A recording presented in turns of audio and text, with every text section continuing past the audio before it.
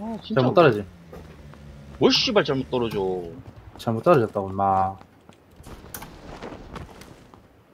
옥상 잘 내렸고